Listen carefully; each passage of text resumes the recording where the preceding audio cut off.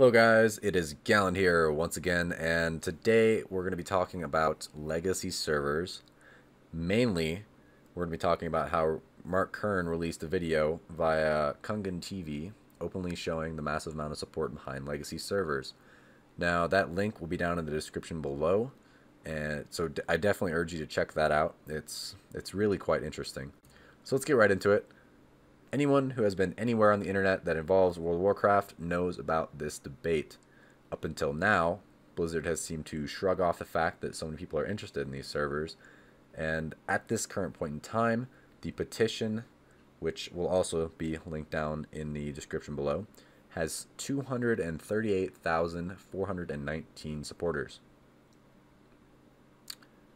They're trying to get Blizzard to reconsider their firm stance on the servers, but outside of that, let's just talk about the possibilities as well as the drawbacks that Blizzard could possibly see from listening to this outcry. First of all, let's do the pros. The pros are always the best. So, number one, as stated by Mark Kern, if legacy servers were to exist, many number of top Twitch streamers would return and stream World of Warcraft. This could very easily make it one of the top watch games on Twitch, up there with Hearthstone. As you know, if you are active on Twitch, it's usually Hearthstone, CSGO, and League of Legends up the top, and then they trump most every other game. Next up, with so much love for previous versions of World of Warcraft, veterans and newbies alike would return to play a new old version if it were released today, whether to just try it out or return to the game they loved. The overall spread would be enormous since there are millions more WoW age people on the internet now than ever me being one of them, since the height of my vanilla and Burning Crusade gameplay was questing in Feralas and questing in Shadowmoon between my 4th and 6th grade years of grade school. I would definitely be interested in trying these out and finally playing the game that so many people love. Now let's look at a possible, this is the only possible con I could see of this server going up. Budget and revenue. Those are what come to mind when you really talk about these servers because there's no reason that Blizzard has besides that to put these up. Like, it wouldn't make them money, they believe. So let's do some math.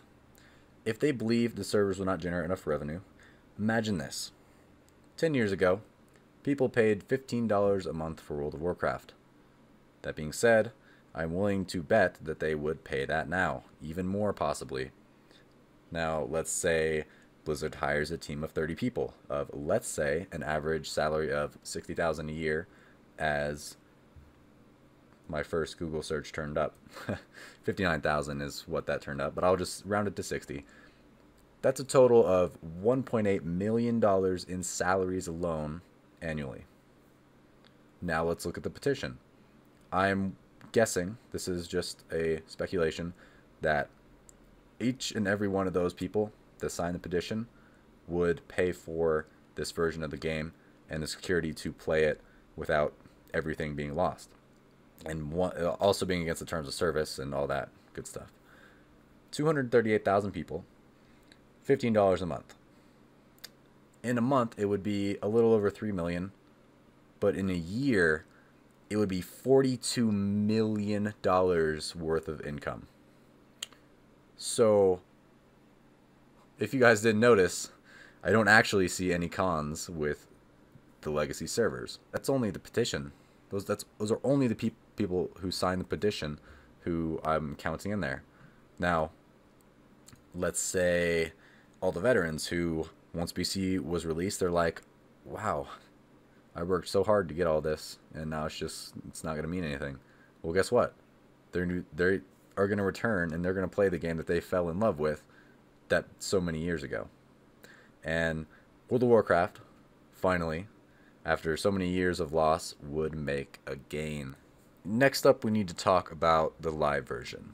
So, the progressive version as it is now and where it's going. Now, I could see there's been some speculation on this being the last expansion. I would hope not, because I do actually, I would like to see the game continue. But that being said, when you look at the revenues that the other server could make from 200 250,000 people that could that could be its own game.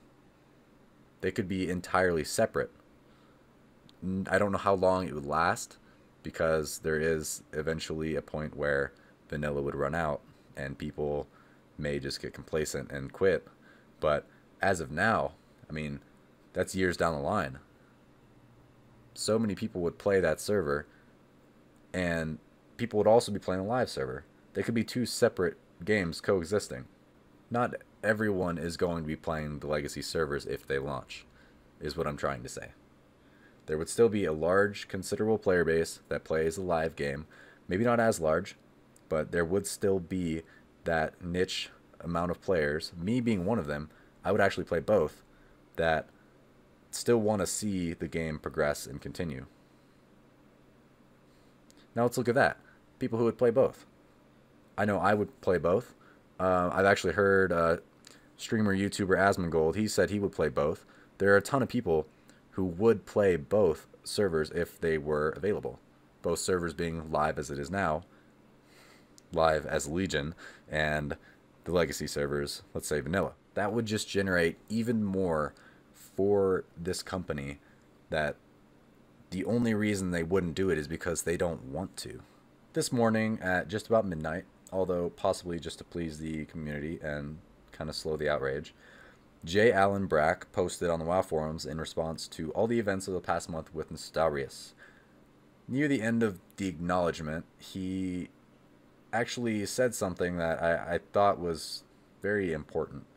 And what he said was, We've recently been in contact with some of the folks who operated Nostalrius. They obviously care deeply for the game, and we look forward to more conversations with them in the coming weeks. The main thing that sticks out is in the coming weeks. So that's very interesting that they would say a specific timeline versus in the future. Just a thought. And then it the fact that they're actually talking and not just blocking everything out is good. Now, what could this mean directly? Who knows? Maybe Blizzard is talking to them to see just how they felt about it or why they wanted to do what they were doing. But although that is pretty clear on why they wanted to. But maybe, just maybe, Blizzard will adopt Nostalrius. Maybe even some of the people who helped run Nostalrius invite them to be in the Blizzard company with this giant project and announce the redevelopment of Vanilla WoW. That is absolute speculation, but coming from that quote right there, that's what I could gather, if anything. I hope you learned a little bit about how these issues have blown up. They they've really become big questions, especially on Blizzard's end. So, if you liked the video, go ahead and toss it a like or even subscribe. I like to do a lot of stuff on WoW and the Alpha, especially. And if you have any comments or just want to discuss these events, I urge you to put a comment below. I will respond as long as it's not, you know, just oh my god, rage.